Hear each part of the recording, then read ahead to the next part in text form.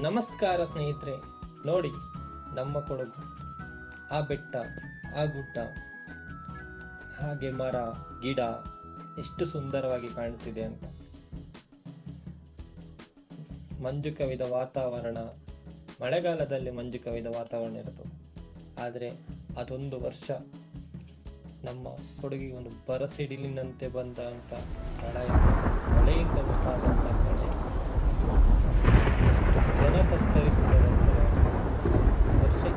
ಯಾವತ್ತೂ ಕಳಿಸ್ತಾರ ಅಂತ ಅನ್ಸುತ್ತೆ.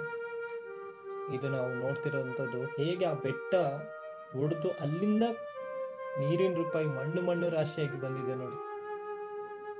ಅಲ್ಲಿ ಝೂಮ್ ಮಾಡಿದಾಗ ನೋಡಿ, ಅಲ್ಲಿಂದ ಬಂದಂತ ಮಣ್ಣು. ಅದು ಮಿನಿಮಮ್ ಅಂದ್ರೆ ನಿಮಗೆ ಮೂರರಿಂದ ನಾಲ್ಕು ಕಿಲೋಮೀಟರ್ ದೂರ ಇದೆ. ಇದು ಜೋಡುಪಾಲ ಮದೆನಾಡ್ ಹತ್ರ ಬರುತ್ತೆ. ಮದೆನಾಡಲ್ಲಿ ಆದಂತ ಘಟನೆ. ನಾವು ಈ ವಿಡಿಯೋಲಿ ತೋರಿಸ್ತಿರೋದು ಕೇವಲ ಒನ್ ಪರ್ಸೆಂಟ್ ಅಷ್ಟೇ. ಇದು ಮಂಗಳೂರು ಮತ್ತೆ ಇದು ಮಡಿಕೇರಿ ಹೈವೇ ರೋಡ್ ಕಟ್ ಆಗಿತ್ತು. ಇದನ್ನು ಸರಿಪಡಿಸಲು ಕಡಿಮೆ ಅಂದ್ರೆ ಮೂರು ತಿಂಗಳು ಟೈಮ್ ತಗೊಂಡಿದ್ದಾರೆ. ಹೇಗೆ ಅಂದ್ರೆ ರೋಡೇ ಇಲ್ಲ, ರೋಡೇ ಕೊಚ್ಚೋಗಿದೆ.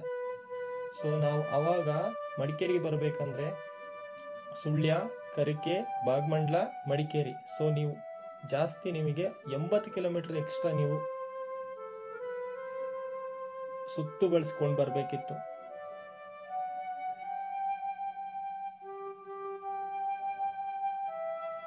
ಎಕ್ಸ್ಕಲೇಟರ್ಗಳು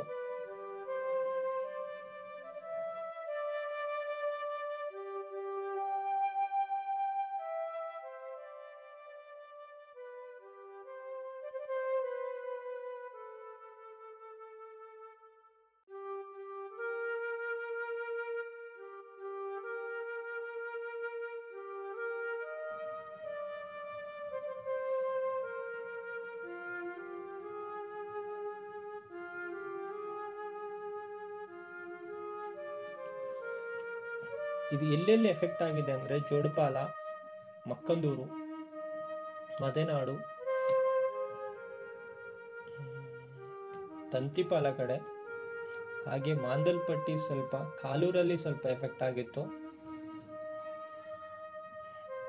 ಅಲ್ಲಿರೋರೆಲ್ಲ ಆ ದಿನ ರಾತ್ರೋರಾತ್ರಿನೇ ಮಾನೆ ತೋರ್ತಿದ್ದಾರೆ. ಅದು ಆ ವರ್ಷದಲ್ಲಿ ಜೀವನೂ ಕಳ್ಕೊಂಡಿದ್ದೆ.